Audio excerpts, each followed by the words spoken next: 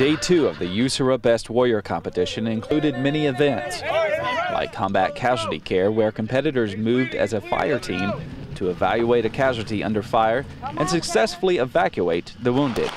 The contenders were also tested on their ability to shoot under intense physical and mental strain.